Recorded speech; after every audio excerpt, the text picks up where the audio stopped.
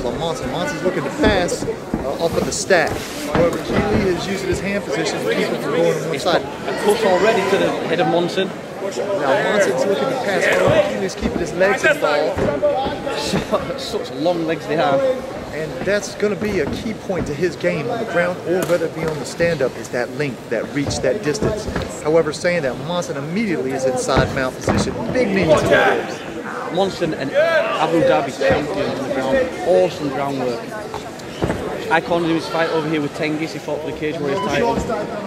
Once it got to the floor, it was completely one-way traffic. Yeah, but the thing is, let's not take anything from Tengiz. Tengiz is an animal, and Jeff Monson made it look easy. Certainly didn't manhandle it. But he has got a bad cut. Dave Keeley trying to work away at that foot there.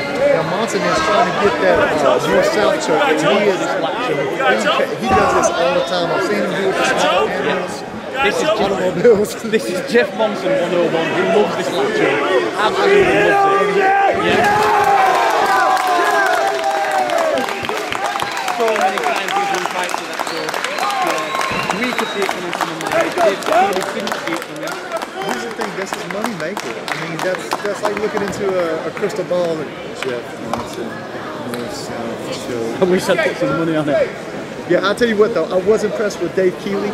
He tried to, you know, keep that distance. Um, he even was looking very good on the ground with those downward elbows. I mean, he, you know, no respect shown. You know what I mean? He was going for the win.